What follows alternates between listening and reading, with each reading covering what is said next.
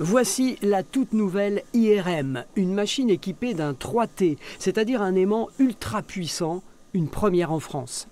Sa particularité, c'est un de ses composants qu'on appelle les gradients.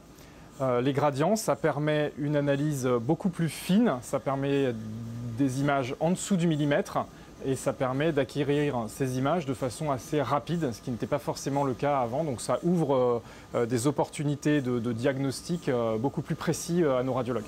Le super aimant attire tout le métal à proximité. Il a donc fallu l'isoler hermétiquement, un chantier d'envergure.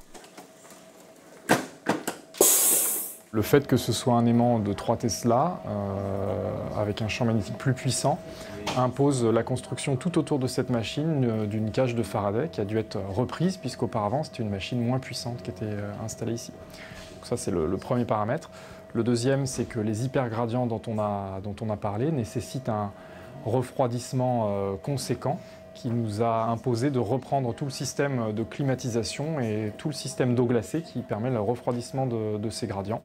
Coût du chantier, plus de 2 millions d'euros. Pour obtenir ces images d'une précision exceptionnelle, les fibres de notre cerveau.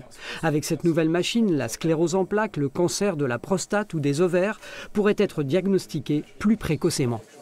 Avant, c'était moins performant, principalement pour une raison de temps. Pour obtenir de telles images, les séquences étaient beaucoup trop longues.